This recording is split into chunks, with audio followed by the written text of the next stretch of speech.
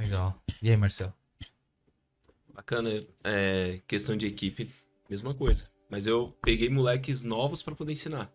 Eu prefiro também. Porque eu tive problema com pessoas que tinham mais tempo na área e vi- e vinha muito com vícios. Você pode falar aqui, né? Pode, pode. Não é pra ofender. Não. Então, eu ia ensinar o os processos da oficina e a pessoa não aceitava. Era um pouco difícil. Mas já- quem paga a conta no final do mês sou eu, cara. Eu já Então, tive cara que. Deixar você me perguntar as coisas, senão não paro de falar, né? É. É, Eu já tive cara que não aguentou trabalhar com a gente porque falou. Eu, olha, as coisas que a gente escuta. Porque a gente é muito chato, que a gente quer as coisas limpas demais. Oxe, Cara, abre a Fala. sua oficina. infelizmente. Abre a sua oficina. Foi, foi, pra mim foi difícil no, no começo, né? Pegar na mão e ensinar. Os meninos vieram com apenas com curso. Então eu me vi neles. Também comecei com curso. É, estagiei numa oficina um ano e dois meses, né? Trabalhava meio período. Das seis da manhã às duas metalúrgicas. E à tarde eu ia, pra uma oficina. Só que eu com quatro meses, eu falo, tem que, fazer, tem que fazer diferença. Eu com quatro meses, nessa pegada, eu já tava começando a montar cabeçote aqui na garagem. Foi quando o olho brilhou e eu falei, é isso que eu quero pra minha vida. Aí eu tive certeza. Eu falei, então vocês têm que ir pra cima. Falo isso muito, né? Então fui ensinando. E aí veio, veio, veio o resultado, né? Hoje tem dois meninos lá no pátio. O Henrique cuida da parte de atendimento, ele é o Boa Praça. Eu ajudo também, mas dependendo de mim, eu só ficava lá no, lá no pátio, né? Ó, e ela é doida que eu saia do pátio. Ela quer que eu Você vai sair, pra frente. o pátio vai te mandar embora Aí, de lá. você vai. Vai te demitir. Tá demitido? Bom, o Daniel agradeceu. Ele falou assim: muitíssimo obrigado pela resposta. Sou professor de história. Olha só, Que cara. top, hein?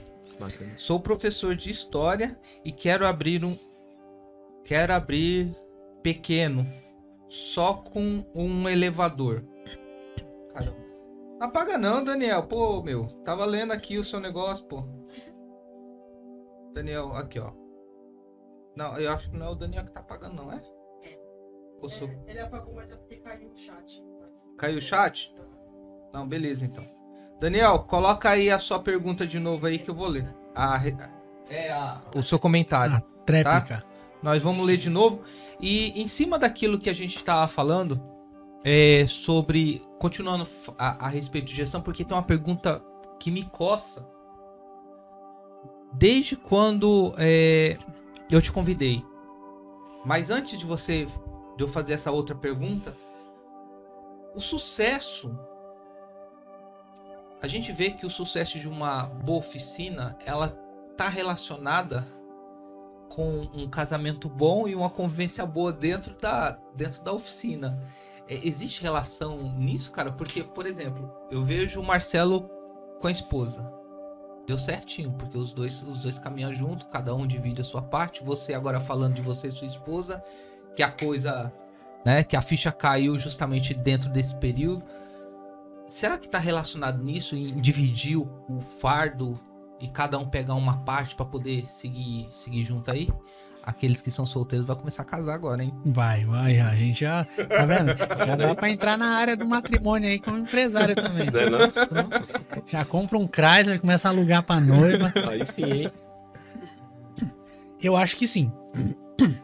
Eu acho que que a gente falou foi antes de começar, né, sobre comparação. Foi. Nos bastidores aqui a gente tava.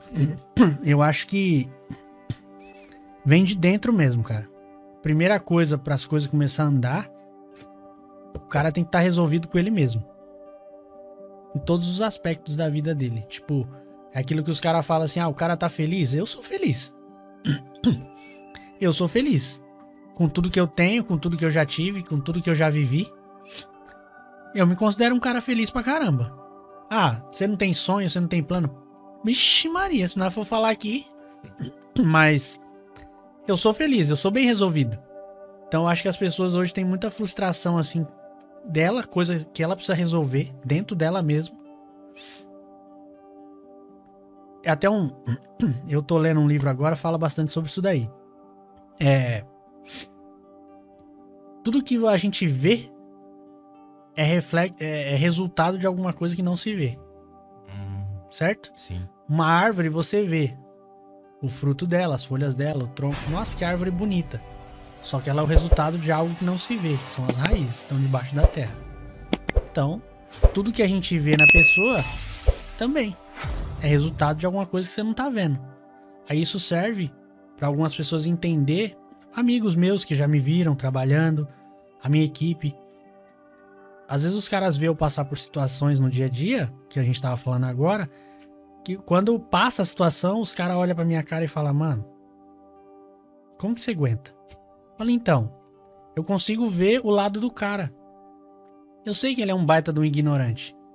Mas você não sabe o que que aconteceu com o cara hoje, mano. Como é que tá a vida dele. Se ele tá devendo, se ele não tá, se o filho dele tá doente, se não tá. Então a gente tem que conseguir ver isso. Então eu acho que o sucesso tá relacionado sim direto. Sim. Sim. Sim. É, né? Sim, e a gente quando entende esse lado de, de, de lidar com pessoas, que a mecânica chucro eu era, hoje eu não sou mais não, eu tô, tô mais Mandou o Tais embora? mandei. Né? E realmente, realmente muda, Muda. muda muito. Muda, evita muitos problemas, transtorno, estresse. Eu até falo pra minha esposa, falo- pra ela, é, eu não, não posso colecionar problema, tenho que resolver. Isso. Independente. Chegou na porta, ou em casa, enfim, tem que resolver e tocar pra frente, porque vai vir outro. E aí, se você juntar, aí te engole. Ficar absorvendo, né? Esse tipo de energia não pode. Exatamente. Ó, o Daniel voltou aqui, deixou, deixou a continuação. Daniel, né, professor de história. Aí ele, ele corrigiu uma. Corrigiu não, ele só acrescentou uma, uma questão na pergunta dele. O, o chat tá caindo demais, né? Tá, tá caindo. Ó, caiu agora. Nossa, difícil, hein? Eu vou tirar um print aqui para poder ler. Ele diz assim: Muitíssimo obrigado. Sou funcionário público. Estou estagnado financeiramente e quero abrir é, e quero abrir especializado em francês com um elevador e um mecânico aqui em Fortaleza. Tem demanda. Então, Demais. é, e o francês é o, é o Peugeot, não é? Conheço uma galera lá no Ceará, Fortaleza. Conheço vários caras lá. É. Mano, se trabalhar certinho, agarrar mesmo, dá certo. Dá certo. Dá certo. Tem demanda mesmo. É. Eu já falei, né, da, da pergunta dele antes, mas. E o que ele tá querendo fazer é melhor ainda. Hoje a gente é multimarca, né?